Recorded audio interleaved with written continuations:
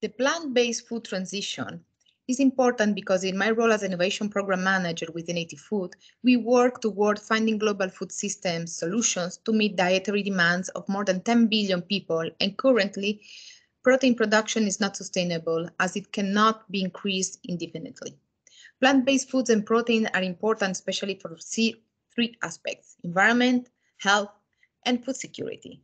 With what concerns environment, currently the world's food system is grappling with an SDGs unsustainable climate and nature footprint. Therefore, the development of plant-based food contributes to increase the availability of crops to feed people, optimize land and water use, and reduce greenhouse gas emission. With what concerns regard, regards the second aspect, health, increasing the supply of plant-based foods and proteins will contribute to human nutrition and health. Urgent change is needed to ensure more balanced and diversified eating habits with a greater focus on plant-based foods. And lastly, the aspect of food security, plant-based proteins can be produced in a wide range of locations using food technology, and this means that could improve food security in food importing regions.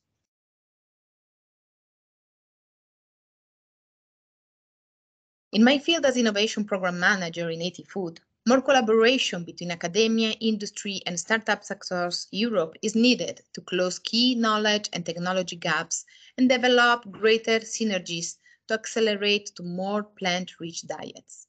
We need to strengthen the creation of diverse selection of consumer end products using alternative proteins and hybrid products made from alternative and traditional proteins sources that are targeted in cleaner label and shorter ingredient lists. Also, it needs to optimize the processes for the production of alternative proteins and the manufacturing of consumer end products to facilitate upscaling and implementation in production environment, reducing complexity and cost is needed as well to accelerate to more plant-rich diets. Lastly, we should focus on improving sensorial and functional properties, nutritional profile of plants, rich protein-based ingredients, and consumer end products via improved novel processes and technologies.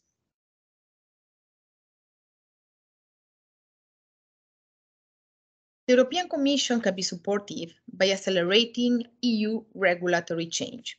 Since it is crucial for plant-based food implementation, you could ensure a clear, transparent, and efficient regulatory path to market alternative proteins without compromising on food safety standards and by developing the right regulatory landscape for alternative proteins in general.